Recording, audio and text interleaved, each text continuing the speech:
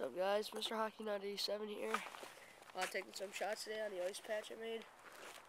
Uh, my rink's going to be up soon. I'm going to be skating on it, making videos. Uh, comment on my channel or message me what I should make those videos about. And always like, comment, subscribe. Thanks guys.